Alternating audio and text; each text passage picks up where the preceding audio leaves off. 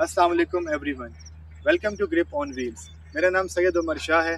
आज हम जिस गाड़ी का रिव्यू लेके आए हैं, वो किसी तारुफ की मोताई नहीं है। ये होंडा सिटी फिफ्थ जनरेशन है, जो कि मोर देन अ डिकेड हमारे मुल्क में रही है।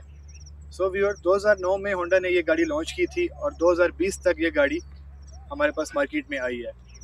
इसमें डिफरेंट वेरिएंट्स हैं 1.3 मैनुअल ट्रांसमिशन जो कि बेस वेरिएंट है 1.3 प्रोस्मेटिक है फिर 1.5 एस्पायर आई थी 1.5 एस्पायर मैनुअल में भी आई थी और ऑटोमेटिक ट्रांसमिशन में भी आई थी विद प्रोस्मेटिक गियर जिस गाड़ी का आज हम रिव्यू कर रहे हैं, ये बेस वेरिएंट है Honda City 1.3 manual transmission so viewers अगर गाड़ी की फ्रंट प्रोफ़ाइल के बारे में बात करें तो एरोडायनामिक शेप होंडा ने बनाई.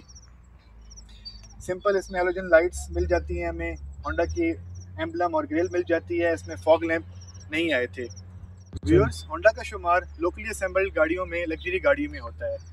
सो so, जो ये वाली गाड़ी है इसमें हमें एबीएस ब्रेक मिल जाती है 1.3 इसका इंजन है। सो so, व्यूअर अगर गाड़ी की साइड प्रोफ़ाइल के बारे में बात करें तो हमें इसमें व्हील कप मिल जाते हैं सिंपल रिम्स हैं 15 इंच का रिम मिल जाता है।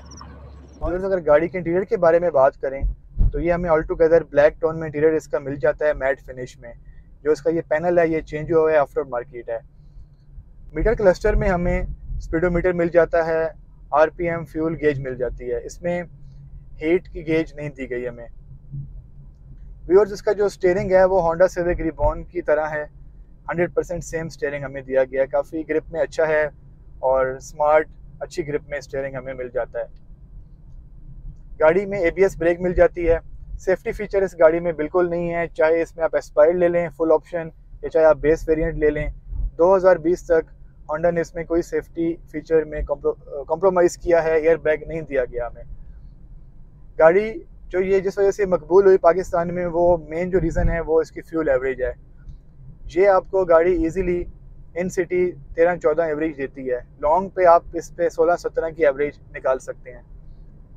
वो अगेन आपके थ्रोटल रिस्पांस पे डिपेंड करता है कि आप किस तरह गाड़ी की फ्यूल एवरेज लेते हैं। जो व्यूअर्स गाड़ी की सीट कुशनिंग है, वो काफ़ी बेहतर है। आपको इसमें कंफर्ट फील होती है। हाँ जो गाड़ी की सस्पेंशन है, वो काफ़ी स्टिफ बनाई गई है। इतनी सॉफ्ट सस्पेंशन नहीं है, जिस तरह सिविक में दी गई है। होंडा ने सिटी को स्टिफ सस्पेंशन में बनाया है, जिसकी वजह से कंफर्ट में कॉम्प्रोमाइज़ करना पड़ता है आपको। तो व्यूज़ अगर गाड़ी की बैक प्रोफ़ाइल के बारे में बात करें तो हमें होंडा की सिंपल टेल लाइट्स मिल जाती हैं। होंडा का एम्बलम है आई टेक का स्टिकर है होंडा सिटी का स्टिकर मिल जाता है। अगर आपने हमारे चैनल को सब्सक्राइब नहीं किया तो सब्सक्राइब करें और बेल आइकन पर क्लिक करें ताकि आपको आने वाली वीडियो के बारे में पता चल सके।